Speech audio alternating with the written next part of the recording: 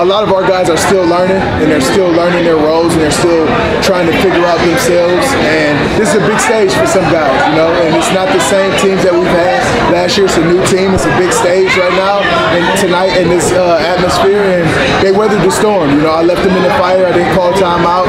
You know, I let them figure themselves out, and they did a real good job staying together and fighting through the storm and getting back to what we do. Uh, I think they're just more getting in the pace of the game.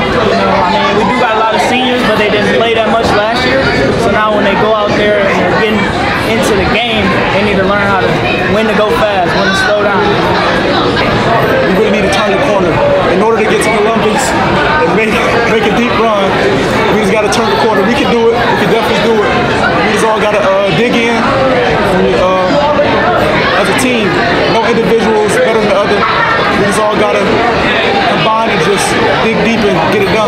Like LA said, we want to make sure we turn the corner. We don't want to stay stagnant and stay the same level of basketball that how we've been playing. We want to turn the corner and elevate our level of play.